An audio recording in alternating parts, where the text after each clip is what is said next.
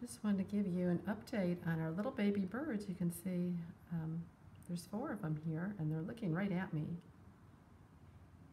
And I'm not sure exactly when they were born, but they should be getting ready to um, get out of their nest and fly here pretty soon.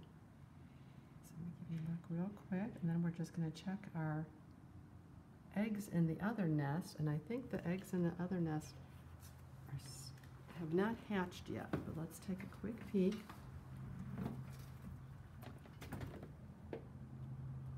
Nope, there are the eggs. They are still there.